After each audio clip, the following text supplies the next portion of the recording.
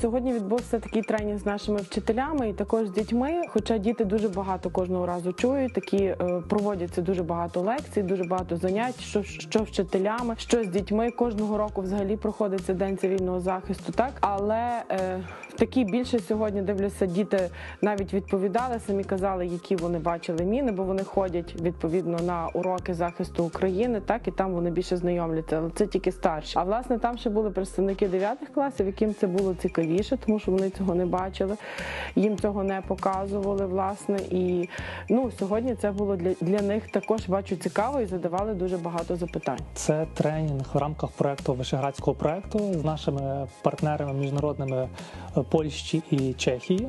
Відповідно, ми, як народна самооборона, маємо організувати тренінги для по вибухонебезпечних предметах, як діяти в разі їх виявлення і так далі, для викладачів і для учнів старших класів, для того, щоб вони мали уявлення, е, як вони виглядають, що робити в разі виявлення, і відповідно більш освіченість, оскільки Україна перебуває в стані війни, і відповідно цей досвід мусить бути, на жаль, в кожного українця.